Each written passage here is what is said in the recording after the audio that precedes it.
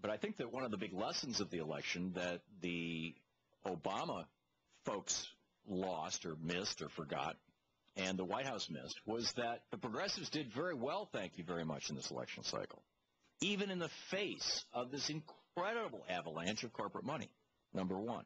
The second big point that I think everybody in America needs to get, and they won't, because the media won't talk about it, is that this campaign was the triumph of, of invisible corporate money, non-transparent corporate and billionaire money over small d democracy.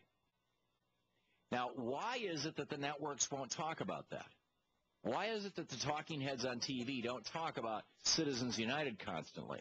Well, the, the reason, quite simply, is because you know that that uh, you know 30, 40, 50 million dollars that Karl Rove raised and spent, the nearly 100 million dollars that the U.S. Chamber of Commerce raised, some of it from foreign sources, and spent. Where did they spend that? In the media. So you think the media is going to turn around and go, "Oh, these guys are terrible. They shouldn't have been giving us all this money to run all these ads."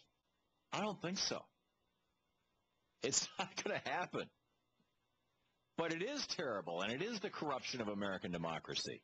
And it also demonstrates the complicity of our media with, you know, in, in the, basically the corporate takeover of America, the loss of small d democracy. There has to, you know, I'm not anti-corporate. I'm, I'm, I, I, I own a corporation. I mean, I, I've, I've been running corporations most of my life, for profit and not for profit both.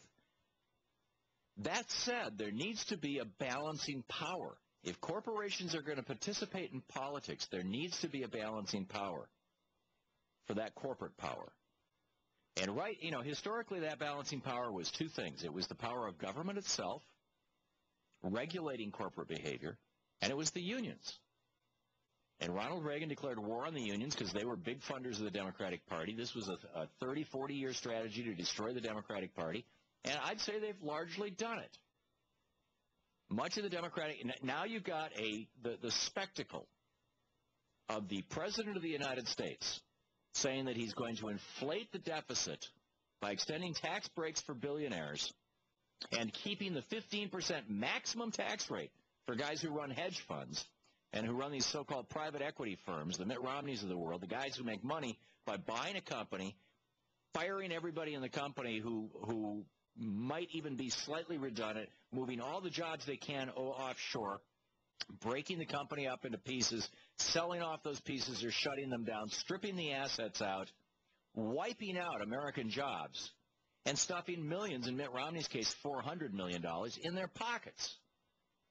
And they pay a maximum income tax rate of 15%. Something that's vigorously defended by the Rush Limbaughs and Sean Hannity's and Glenn Beck's and Michael Savages of the world. Something that's vigorously de- defended by the John Boehner and, and Eric Cantors of the world. Why? Because it's they want they want the campaign contributions from these guys.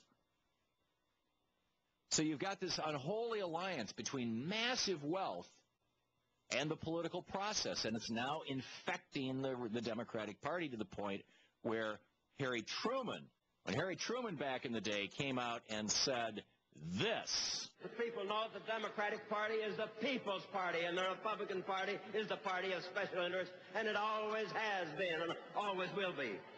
1948 the president, and he was at that time the sitting president of the United States running for reelection, which he won. And he comes out and just calls it as it is. And by the way, just 30 seconds earlier in that same clip, he called the Republicans his enemy. And Obama used a metaphor that had the word enemy in it. And, and all these talking heads running around, I saw several of them on TV.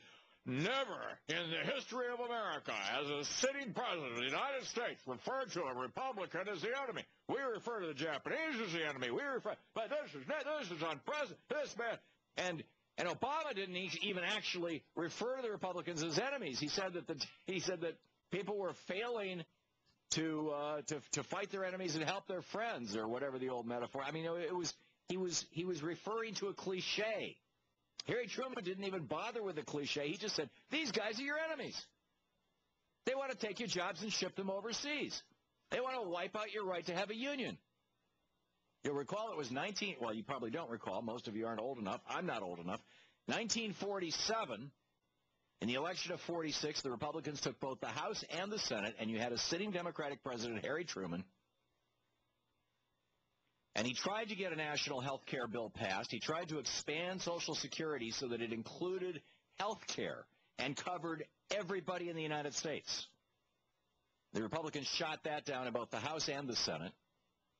And then they passed a bill called the Taft-Hartley Act, which allowed states to say, you know, if an employer doesn't want to have a union, they don't have to have a union, even if the majority of the workers want the union.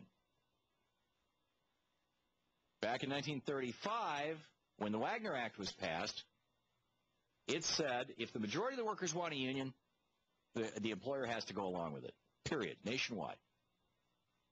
And from 1935 until 1947, we went from about 1 or 2% unionization to 35%. And the Republicans were just plain old flat out freaking out. So they passed Taft-Hartley and said uh, an individual state can pass a, a law through their state legislature and become a so-called right-to-work state, and employers can ignore the will of their employees with regard to unions. And 15, 20 states picked that up right away, and boom, it was the beginning of, you know, blew a hole in the side of the union movement. Harry Truman vetoed that. The Republicans overrode his veto. He still won by calling them out. This is the Thom Hartmann Program. Anyhow, 866-987-TOM, 866-745-CONS, our telephone numbers. Anything goes Friday. Back with your calls.